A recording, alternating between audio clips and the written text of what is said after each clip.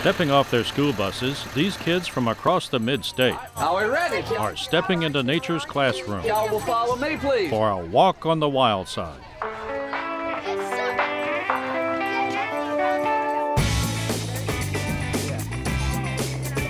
This is a special day for the boys and girls and their teachers. A day to get outside, sponsored by Project WET, or Water Education for Teachers. We teach them activities they can do to teach the children in kindergarten through 12th grade about pollution prevention, about environmental stewardship, and about water quality issues. A great place to do that is this former water treatment plant, now known as the Discovery Center.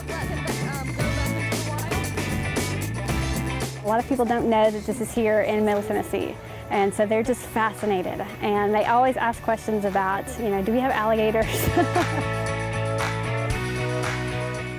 No gators here, but animals that are just as exciting to kids who rarely see them. a lot of them have never uh, had a chance to see a turtle up close, and so they get really excited about it and they can go home and learn more about it. as well as other animals found in Tennessee, from one of the forest's mysterious creatures He's an eastern screech owl, one of the smallest in Tennessee. to a slithery snake Did you think it was going to feel slimy? To a colorful caterpillar's amazing transformation from a green gold chrysalis to a beautiful butterfly. Nature's wonders are on exhibit, up close. Oh my goodness, you got a lot of algae. Excited children hop from one man made lily pad to another, exploring aquatic life. Got one, got one, got one. Eight year old Melanie Frigoso scooped up a tiny mosquito fish. It was fun, but it was hard because there was like tons of them and it hardly almost escaped. You have to look carefully at the rocks. If you don't look closely, you might miss something. A day in nature wouldn't be complete without exploring nearby Murfree Springs. If you're flipping these rocks and you look and you see this, what looks like jelly, what does that, what does that look like to you? Jelly. It is Jelly. like jelly. These are snail eggs. Oh, I found eggs! Oh, let me see. A magical moment of learning, even for their teacher.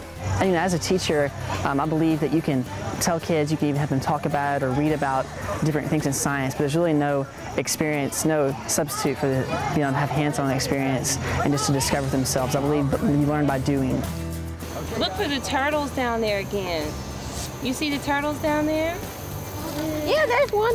Where? yeah, do you see it? On the boardwalk above the wetland, homeschool teacher Rosemary Williams is just as excited as her children.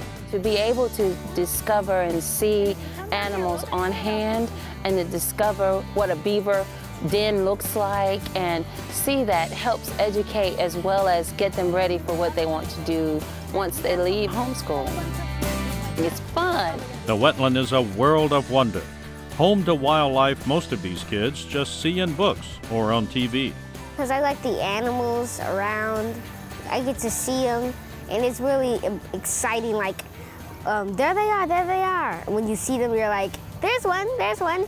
And, and when you get to look at them, it's like, I see it. Animals that most of us take for granted are objects of fascination to the young, like ducks, a dragonfly, or even a frog. They can swim and they hop around, and it's like they're superheroes because it's like they can fly when they hop. Maybe, just maybe, this day of having fun and learning about nature will help Jonah and his generation recognize the importance of protecting our natural world. After all, Their decisions in the future uh, that are relevant to the environment are going to affect everybody that has to live on the planet. I'm Alan Griggs on Tennessee's Wild Side.